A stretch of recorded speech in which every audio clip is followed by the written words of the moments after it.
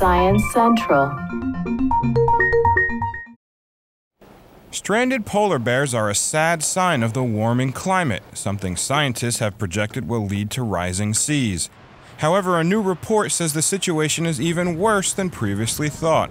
University of Wisconsin Madison geologist Anders Carlson found that previous forecasts of sea level rise due to melting glaciers were likely underestimated. There isn't much good news.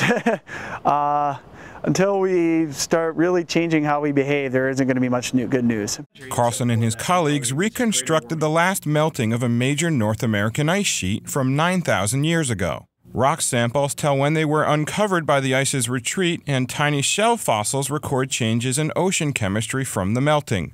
Writing in the journal Nature Geoscience, they showed that the warming then was very similar to forecasts of man made warming by the end of this century. But they found the rate of melting was two to three times faster than what's currently projected for the Greenland ice sheet, the Arctic's largest ice mass.